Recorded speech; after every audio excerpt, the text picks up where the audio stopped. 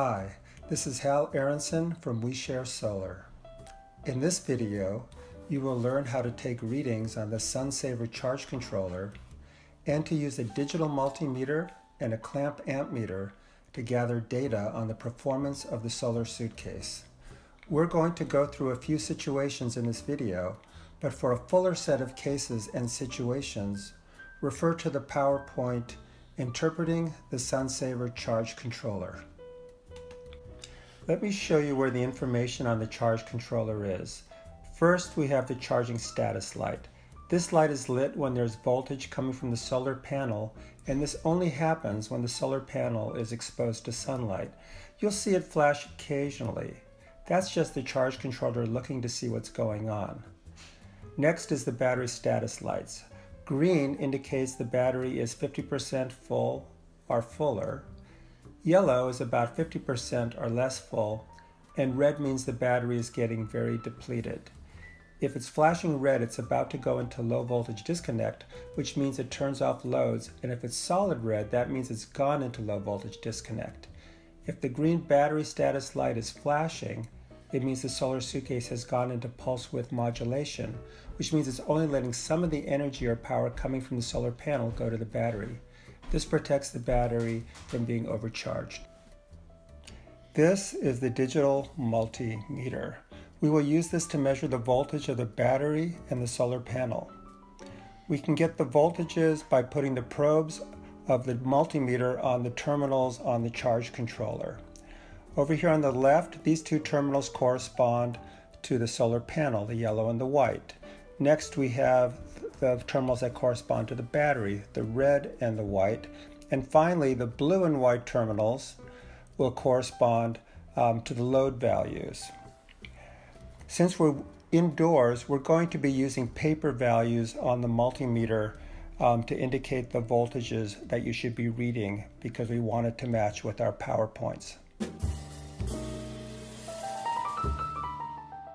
To measure voltage with the digital multimeter, first turn it to 20 volts DC. That's the setting right here. Make sure the red lead is plugged into the voltage port on the meter. Then what you're going to do is take the two probes and put the red on the solar positive and the black on the solar negative. Then you're going to be able to get your solar voltage. In this case, the solar voltage reading is 13.1 volts. If you want to measure the battery voltage, move the probes over and put the red lead on the positive battery wire terminal and the black lead on the negative battery wire terminal. And in this case, you will also get 13.1 volts. This indicates that there is a complete circuit connection between the solar panel and the battery. Now I will show you how to use the clamp amp meter in order to measure the solar amps. First, turn the meter on by setting it to 20 amps. Select DC amps by pushing the select button. Then zero the meter by pushing the zero button. The clamp meter needs to have its clamp going around one of the wires. We're going to go around the solar wire by pulling out some extra yellow wire and then putting the clamp around the wire. This meter is measuring 0.47 amps coming into the solar suitcase. This makes sense because we have a 10 watt solar panel and we have about half an amp of solar current. Now that we have data, we can start to answer some of the questions. First, is the battery charging? Well, the charging light is on, so that means yes. Also, we saw a solar current of 0.47 amps. So by having both the charging light on and seeing a flow of current, we know that there's energy going from the solar panel to the battery, so yes. Is the battery full? No, because we have a solid green light that's not flashing, which means the battery is still accepting a charge. You also saw that the current read 0.47 amps. Is the system in pulse width modulation? No, because of the solid green light and the fact that the voltage of the solar and the battery is the same, which means it's a solid connection between the solar and the battery. Is it sunny? Yes, because the charging light is on, which means there must be sun hitting the solar panel. Is the system functioning as it should? Yes, because these indicators are all consistent with each other. The voltage readings, the amperage readings, the charging light being on, and the battery status light being green. Is this a good time to power or charge loads? It's a good time, but not the best time. All the current is going into the battery. It's better to wait until the system has extra power to charge loads.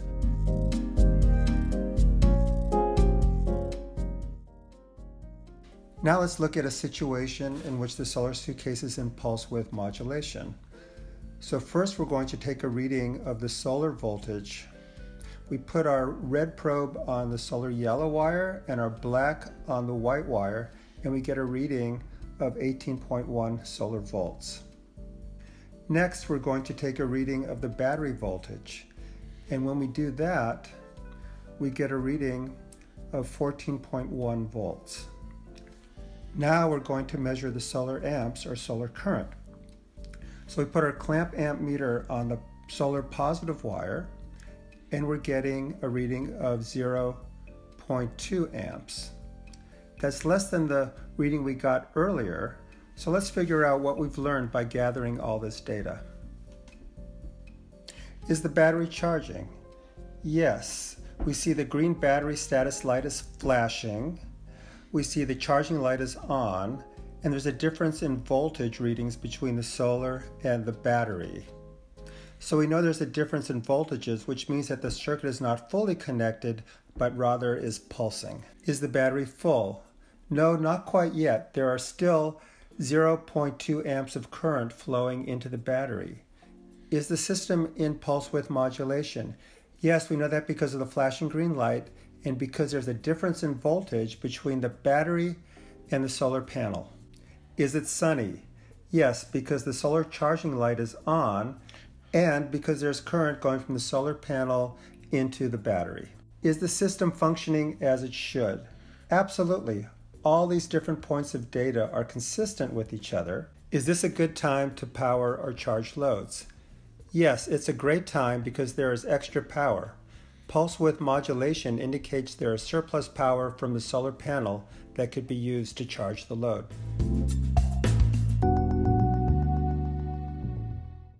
We're now going to jump to situation number four on the PowerPoint. In this case, it is no longer sunny outside, so I want to show you what it would look like in terms of gathering data. So let's first measure the solar volts. Again, we go to the charge controller and go to the solar terminals and you can see that when we do this, we're getting um, zero volts from the solar terminal. This makes sense because the charge controller has disconnected the solar from the system. Next, we're going to measure the battery voltage. We put the red probe on the battery positive and the black probe on the battery negative, and we're getting a reading of 12.5 volts. Next, let's measure the solar amps coming in. So we clamp onto the solar positive wire and we're getting zero amps. So what's going on with our solar suitcase? Well, let's take a look at our questions. Is the battery charging?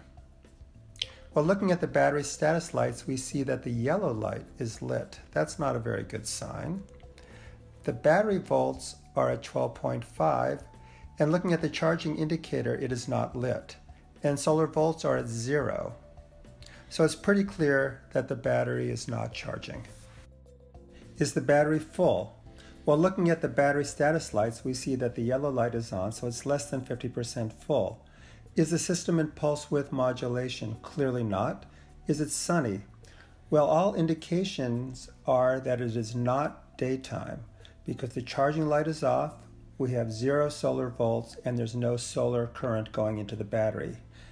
Now, this could also be caused by a malfunction in the system, such as a disconnection between the solar suitcase and the solar panel. That could also cause all of these indications to occur as well. But it probably means that it is nighttime. If that's the case, the system is functioning as it should. Is this a good time to power or charge loads? It is not a good time to charge loads because you're running off the battery and the battery is already 50% discharged.